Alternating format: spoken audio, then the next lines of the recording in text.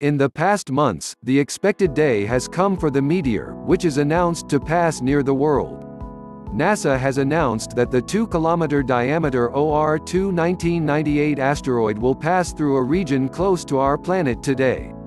So does the meteor crash into the world? Here is NASA's meteorite statement. The meteorite incident announced months ago by NASA will take place today. It was defined that the meteorite, called OR, which would pass through the Earth's orbit, was 2 kilometers wide.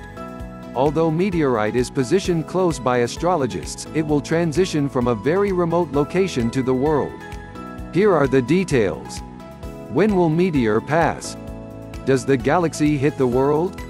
NASA announced that the meteorite will cross the nearest orbit on Wednesday, April 29. It was announced that the meteorite called OR-2 1998 will pass safely 6.3 million kilometers away, without the risk of damaging the world astronomers will be able to examine the 2-kilometer wide stone at around 13.55 o'clock while it is in the nearest orbit.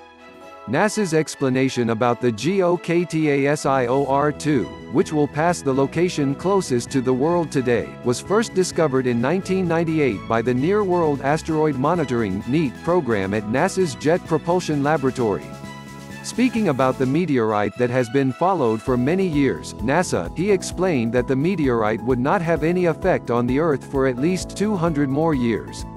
His next closest approach to the world will be in 2079, when it will pass closer, just four times the lunar distance.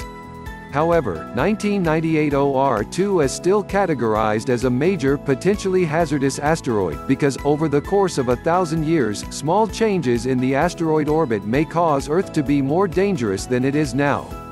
The previous meteor that passed near the world was made in September 2017 by the asteroid Florence. The 5-kilometer wide 3-mile wide object crossed the Earth at 18-month distances.